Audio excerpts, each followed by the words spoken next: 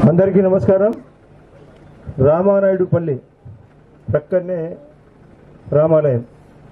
మన అభ్యర్థి గారు భారత్ యాదవ్ మరియు సీనియరు పార్టీలో సత్యకుమార్ గారి సమక్షంలో నేను ఇప్పుడు వచ్చేటప్పుడు అడిగా ఏంటి ఈ ఊరు పరిస్థితి అని?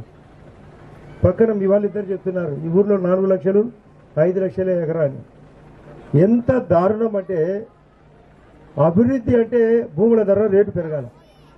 మోడీ గారు పైన ఢిల్లీలో ఎన్ని నిధులు ఇచ్చినా జగన్మోహన్ రెడ్డి గారు తినడానికే జరిపాయి మిమ్మల్ని నేను రెండే నిమిషాల్లో ముగిస్తా.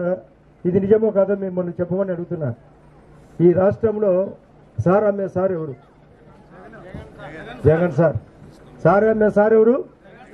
ఇసుక అమ్మే సార్ ఎవరు?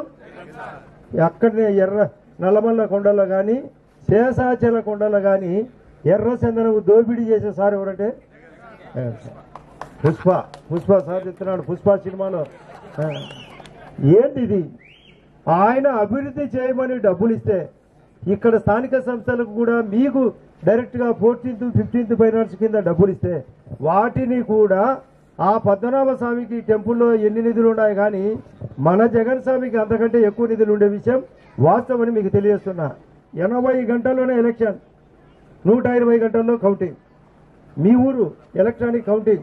ప్రతి ఊరు ఎలక్ట్రానిక్ కౌంటింగ్ సపరేట్. మీ ఊళ్ళో ఎన్ని ఓట్లు పని అంటే ఆన్ చేస్తే ఓ సినిమాలో పాట ఉన్నది. మీ కళ్ళు చెప్తున్నాయి నీవు ప్రేమించావని. మీ పెట్టే చెప్తాది. మీరు ఎన్ని ఓట్లు వేసినది? కాబట్టి మీరు జాగ్రత్తగా ఆలోచించండి. ఇలా ఓట్లేయండి. పేదవాడు పని చేసేవాడు ఈ యొక్క ఓట్లేస్తే మోడీ గారు ఈ యొక్క ఆత్మకూరికి ఇక్కడ ఉన్నాడు సత్య. ఎక్కువ నిధులు అర్హత ఉన్నవాడు నేరుగా అమిత్ కూడా మాట్లాడగలిగిన వ్యక్తి.